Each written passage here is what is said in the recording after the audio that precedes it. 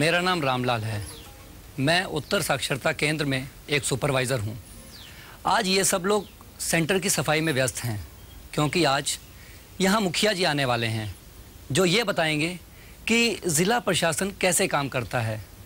इस तरह की जानकारी प्राप्त करना उत्तर साक्षरता केंद्र का एक उद्देश्य है, जिससे भविष्य में आने वाली मुश्किलों का हल निकल सके।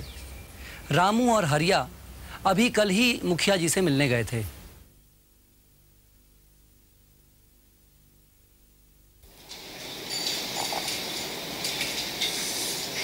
सेंटर में एक समय में कितने लोग होते हैं? करीब यही होते हैं दस बारह अच्छा पढ़ाई के दौरान उन्हें किस तरह की किताब वगैरह पढ़ने के लिए दी जाती है? उत्तर साक्षरता केंद्र में तो दैनिक अखबार कहानियों किताबें व उनकी रोज़मर्रा की ज़िंदगी में काम आने वाली किताबें दी जाती हैं। एक लाइब्रेरी भी बना दी है जिसमें वे जब चाहें किताबें वगैरह घर ले जाकर पढ़ सकते हैं। अच्छा ये बताओ मेरे वहाँ जाने से आप लोगों को क्या फ़ायदा होगा? मुखिया जी हम लोगों को समय समय पर प्रशासन व पंचायत संबंधी कुछ मुश्किलें आती हैं जिसका समाधान हम लोग नहीं कर पाते। कौन सा विभाग क्या काम करता है इस बारे में हमको बहुत कम जानकारी है। इसलिए हम चाहते हैं कि जिला प्रशासन कैसे काम करता है इसके बारे में सेंटर के लोगों को कुछ बताएँ। अच्छा। ठीक है। मैं आपके सेंटर चलूँगा।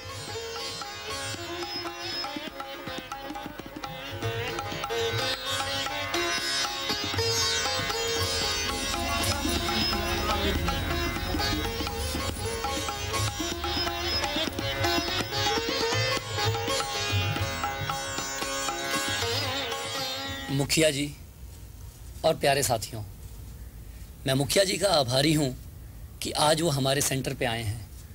और हमें ज़िला प्रशासन कैसे काम करता है, इस बारे में जानकारी देंगे। प्यारे भाइयों व बहनों आज मुझे यह जानकर बहुत खुशी हुई कि आप सब लोग सरकार द्वारा चलाए जा रहे संपूर्ण साक्षरता अभियान में भाग ले रहे हैं। जैसा कि अभी श्री रामलाल जी ने कहा कि मैं आपको जिला प्रशासन कैसे काम करता है इस बारे में बताऊँ। अधिकतर हम लोगों की ज़िंदगी का सीधा संबंध राज्य अथवा केंद्र प्रशासन से नहीं होता, बल्कि जिला प्रशासन से होता है। और जिला राज्य का ही एक भाग है, जो विकास योजनाओं का निर्माण करता है और उन्हें पूरा करता है। जिला प्रशासन के सभी कार्यों के बारे में यदि मैं आपको बताऊँ तो एक लंबी लिस्ट बन जाएगी। जो मुख्य काम है, वो हैं पहला सरकारी कानूनों और आदेशों को अपने क्षेत्र में लागू करना। दूसरा भू राजस्व इकट्ठा करना। और तीसरा अपने ज़िले की जनता का अधिक से अधिक कल्याण। मुखिया जी जब से हम पैदा हुए हैं इसी गाँव में रहते हैं। ऐसा हमें नहीं लगा है कि हमारा प्रशासन अधिक से अधिक कल्याण कर रहा है।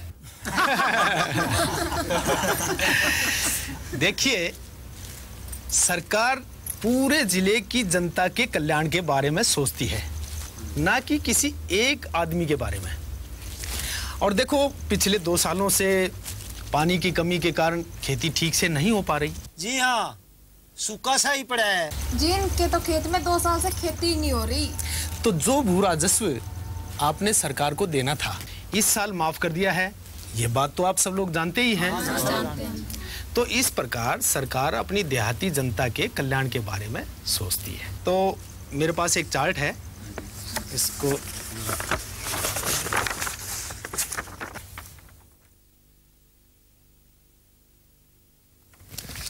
प्रत्येक राज्य में ज़िले के तीन स्तर होते हैं। पहला जिला कलेक्टर एवं जिला मजिस्ट्रेट साहब का मुख्यालय। ज़िले के किसी प्रमुख नगर में होता है। दूसरा, ज़िले के किसी अन्य स्थान पर उपखंड का मुख्यालय होता है और तीसरा, तहसील कार्यालय।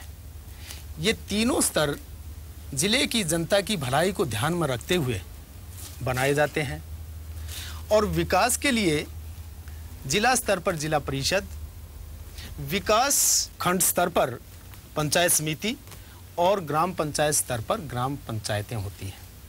उपखंड प्रत्येक जिला सुविधा के लिए उपखंड तथा तहसीलों में बांट दिया जाता है।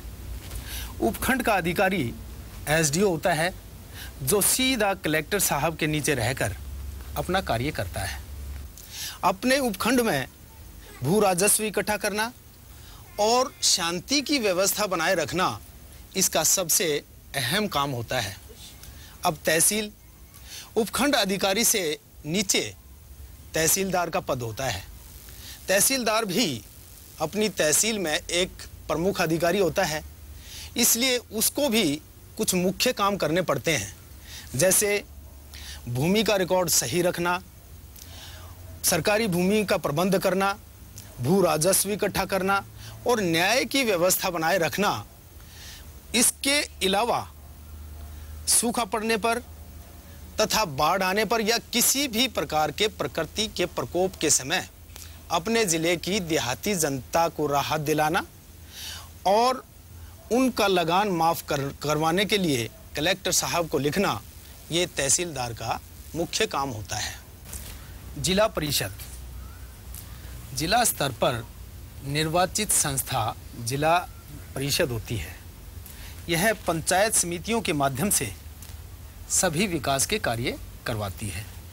पंचायत समिति जिला परिषद के नीचे तहसील की ही भांति कुछ ब्लॉक होते हैं जिन्हें पंचायत समिति कहा जाता है। इसका मुखिया प्रधान होता है, जिसका चुनाव सभी सरपंच मिलकर करते हैं और इसमें एक विकास अधिकारी होता है, जो प्रशासन से संबंधित सभी कार्यों को देखता है। पंचायत समितियों द्वारा चलाए जा रहे हैं सभी विकास के कार्य। गाँव में पंचायतें ही करवाती हैं। और गाँव के विकास के लिए जैसे कृषि, उद्योग, चिकित्सा, रोशनी की व्यवस्था, नाली, सड़क आदि का निर्माण और इनके रख रखाव की ज़िम्मेदारी भी पंचायतों की ही होती है। मुखिया जी, संस्था कोई भी काम करती हो, लेकिन आप हमारे गाँव की हालत तो देखो। चारों तरफ़ नालियों में गंदगी की वजह से बदबू ही बदबू फैली हुई है। जी जोड़ सूखे पड़े हैं पंचायत ध्यान ही नहीं दे रही। रात को सड़कों पर रोशनी भी नहीं होती है। ऐसा लगता है कि आपको अपने गाँव की पंचायत से बहुत सारी शिकायतें हैं। जी जब पंचायत कुछ कर ही नहीं रही तो शिकायतें तो होंगी ही। जब पंचायत से शिकायत है तो उससे ऊपर वाले अधिकारी से मिलना चाहिए था। कलेक्टर साहब के दफ्तर में अर्जी देकर तो आए थे। अगर पंचायत स्तर पर आपकी मुश्किलों का हल नहीं होता तो उससे ऊपर पंचायत समिति में जाकर प्रधान से मिलना चाहिए। और वहाँ भी अगर काम नहीं बनता तो जिला परिषद में जिला प्रमुख से मिलकर अपने कार्य कार्य करवा सकते हैं। भाई आगे इस किस्म की कोई तकलीफ़ आ जा हमें क्या पता किस अधिकारी से मिले। देखो सरकार ने आप लोगों की सुविधा के लिए हर क्षेत्र में विकास अधिकारी नियुक्त किए हुए हैं।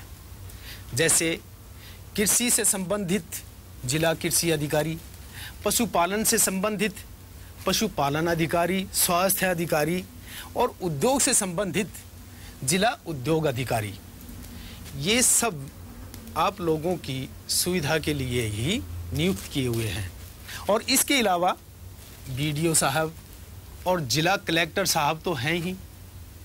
तो ये सभी अधिकारी आप लोगों की सहायता के लिए हमेशा तत्पर रहते हैं।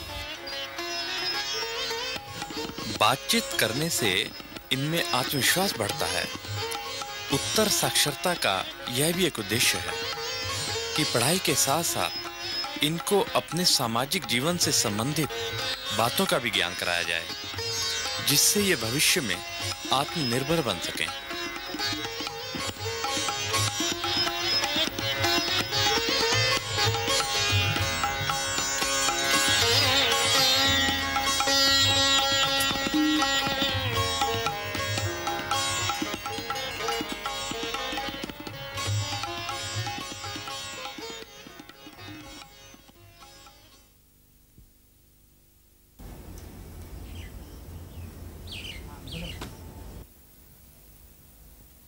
हरिये क्या बात है? सिंचाई के लिए पूरा पानी नहीं मिला। याद नहीं उस दिन मुखिया जी ने क्या कहा था? ग्राम सेवक या कृषि अधिकारी से मिलो। शायद तुम भूल गए जो उस दिन मुखिया जी ने बताया था। चलो आज फिर उसे एक बार दोहरा लें।